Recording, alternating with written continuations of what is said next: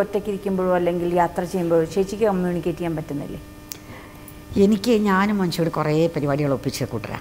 അവൾ ഭയങ്കര കുസൃതിയായിരുന്നു. ഞാനും കുസൃതിയാണ് അപ്പം ഞങ്ങൾ രണ്ടുപേരും ഓജാ ബോർഡൊക്കെ വിൽക്കും. ഞങ്ങൾ ഞങ്ങളുടെ ഗൈഡിങ് സ്പിരിറ്റിനൊക്കെ വിളിക്കും. ഇങ്ങനെ കുറേ പരിപാടി ഒപ്പിച്ചിട്ടുണ്ട്. അപ്പം എനിക്ക് പിന്നെ ഒരു ഓട്ടോമാറ്റിക് റൈറ്റിംഗ് അവരൊന്നും പറയണ മീഡിയ എനിക്കതൊന്നും പറയാറില്ല. ഓട്ടോമാറ്റിക് റൈറ്റിംഗ് ഉണ്ട്. അറിയാം അറിയാം. അപ്പോൾ അതിലൊക്കെ ഞാൻ ഇങ്ങനെ മെസ്സേജസ് ഒക്കെ കിട്ടും. എന്തൊക്കെയോ ചിത്രങ്ങളൊക്കെ വരയ്ക്കും ഇത് എന്താണ് നമ്മുടെ പാരാസൈക്കോളജി ആണോ?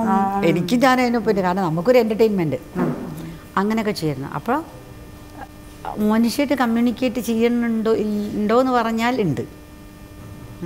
പക്ഷെ അതിനെന്താ പ്രൂഫ് മറ്റുള്ളവർ ചോദിച്ചാൽ എനിക്ക് പറയാൻ പറ്റില്ല. അവർ പറയും സൈക്കോളജിക്കലാണ് അല്ലേ? ഒരു സൈക്യാട്രിസ്റ്റിന്റെ അടുത്ത് പോയാൽ അവർ പറയും നമ്മുടെ മനസ്സിൽ തന്നെ സബ് കോൺഷ്യസ് മൈൻഡിൽ കിടക്കുന്നത് തന്നെയാണ്. ആയിരിക്കാം. ചേച്ചിയുടെ കണ്ണെന്ന് എനിക്ക് വായിക്കാൻ ആ. അല്ല അത് അത് അന്തർ അത് അത് മേജ് ചെയ്തു പോകണതല്ലേ ആ ഒരു ഇത് എന്റെ ഞാൻ അല്ല അതെന്റെ ഒരു സെക്കൻഡ് നേച്ചറായിട്ട് അങ്ങോട്ട് മാറിയില്ലേ അതിന്റെ എത്രയായാലും മുഖം മനസ്സിന്റെ കണ്ണാടിയല്ലേ? സത്യം. അത് ഞാനാണെങ്കിൽ വളരെ സെൻസിറ്റീവാണ് പെട്ടെന്ന് പുറത്തേക്ക് കാണിക്കും. ആവും. അതെ.